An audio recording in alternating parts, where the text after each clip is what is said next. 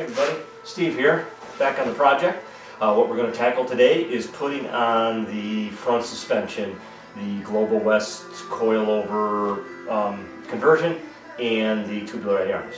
So let's get rolling.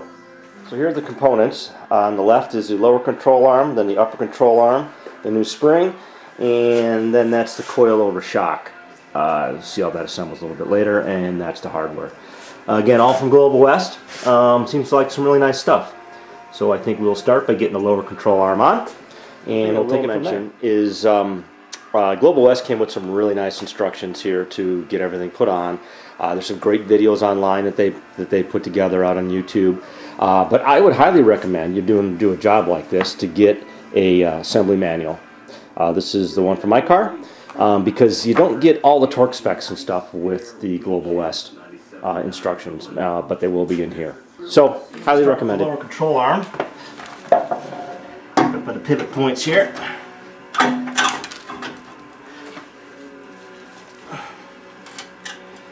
Alright.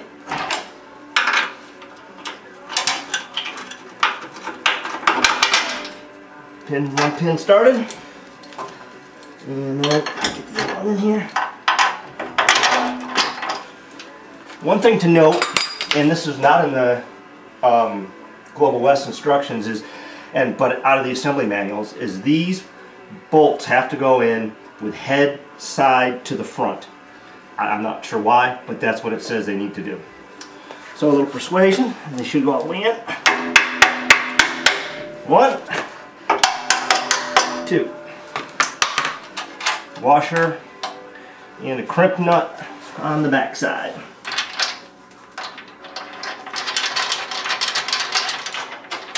Okay, so I'm just going to snug these up. I'm not going to torque them down. Although, Global West says that you can go ahead and torque these down without the car being at ride height. But typically, suspension pieces, you uh, don't tighten them down and torque them until you're at ride height. Um, so this thing still swings nice and free. Um, even though the Del-a-lum bushings on the bottom here, you can do that, I still have to have it at ride height for everything else, the sway bar links and all that stuff. So I'm going to do all that when it's at ride height. So uh, we move to the upper, the upper arm here. Um, one thing we have to do first is remove the old um, rubber bump stop from the uh, original arms. On the Global West setup, they actually put the bump stop on the bottom of the arm. So we'll get to removing that.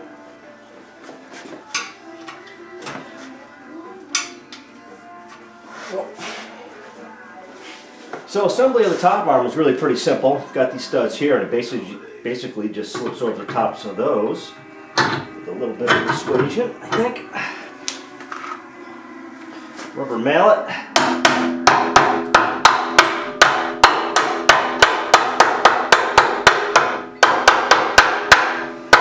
Now when I put this back together, I have the I have all the original shims that were in here before. Um, I'm going to put those back in where they were. This whole front's going to have to be a line. I'm sure I'll have to change it, but at least this will get it halfway close.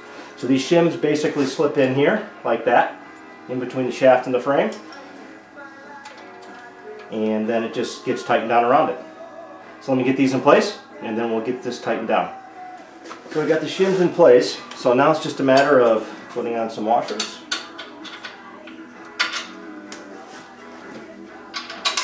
And then the locking nuts. And these are these locking nuts. They're like a like a crimp nut. Um, see if I don't know if you can see it, but it's uh, they're almost like ovalized. Um, this is what's all went on the whole front suspension.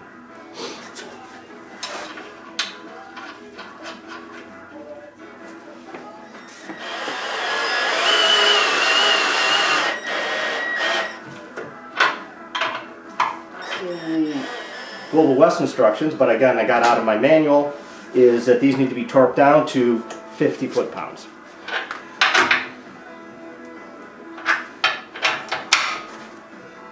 So the first thing you have to do is put this locking collar on, and there's a, uh, like a boss on it. That goes to the top, and yeah, a lot of this will make sense once I get it all put together. So you wind that on down, wind it all the way down. And then there's this adjusting collar, which is this piece here, that gets wound down onto this also. Uh, Viking says that your warranty is void if you don't use um, anti-seize on this. Global West says they put it together dry. Um, I'm going to go with what Viking says and I'm going to put some anti-seize on there. The reason Global West says no is because it can attract dirt and dig up the threads more if you're going to do a lot of adjusting after it's on the car. I'm not going to do a lot of adjusting efforts on the car. One of the main reasons I bought these is so I could adjust my ride height. Um, and uh, uh, that I'm you know kind of do once and that's it. I'll be messing around with this when I'm at the track, uh, but that's not to have anything to do wound on this direction.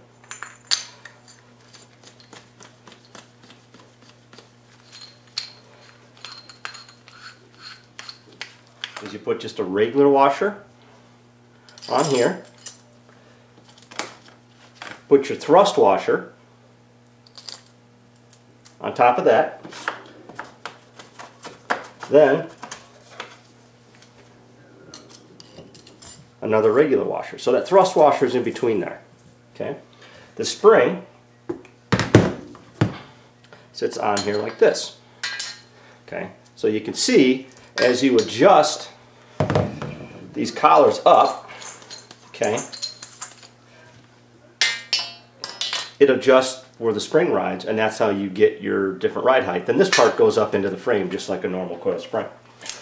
So uh, let's go get this thing put on the car. Okay, like any other shock on the top, need to put some rubber bushings. So that's the first thing we'll do. Okay, get those on there.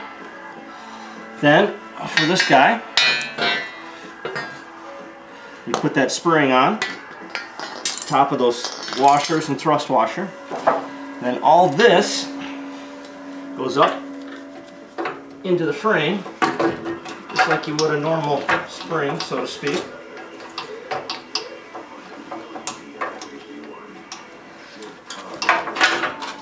Go. Then you put rubber.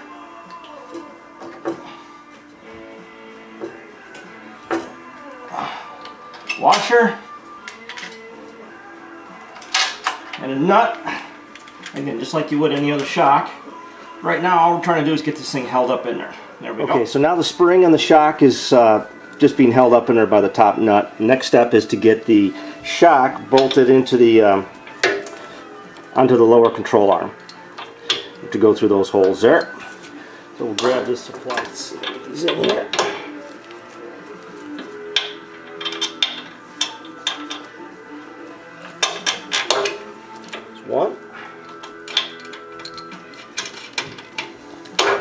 Okay, so we'll basically uh, torque those down. One thing to note, the adjustment for the rebound and compression, those go to the outside. Make sure you do that. And before you totally tighten these down, you want to make sure you get the shock centered in the hole here. Um, so I'm going to just. Because these holes are slotted. So next step, we'll put the spindle in. Um, if you remember this, this is the, uh, the one I painted way back when. Let me tag off here.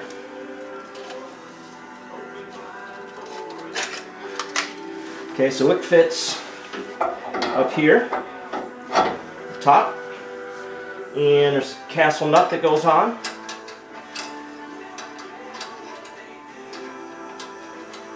to the spindle. We'll just do that with a jack. And again, so much easier to do this with this coilover shock here as opposed to trying to do it with um,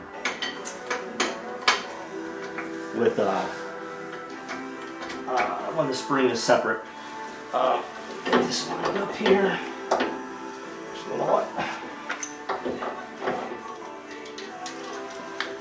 old joint is cut out. There we go. We should be able to jack this right up onto that. Self-center. Okay, let me get a nut wound on this thing. Before you start getting everything tightened up with the spindle, um, should finish up putting the top of the shock on. Remember, I just put that on finger tight, um, just to hold it up in there. So I'm gonna put a little bit of preload on that on that rubber till I see it just starting to mushroom out a little bit past the washer, or out to the washer I should say. When I see that. Stop there. And then put the lock nut on. So how the spring adjusts is it comes, the shock comes with the spanner wrench. And these uh, little teeth that are on these rings, all you have to do is put the spanner wrench in there and then start turning.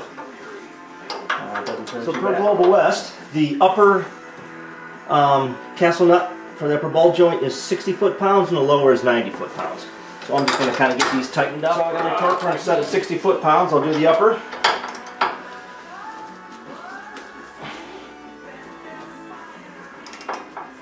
So now I need to do the lower. My digit torque wrench does not go up to 90, so I have to use my old-fashioned beam here. And put your cotter pins in once you get the castle nuts lined up. So that's basically it. Cotter pins are in. It's all set in place. Repeat on the so other side. have it. Both sides are done. Um, nice kit. Goes together well.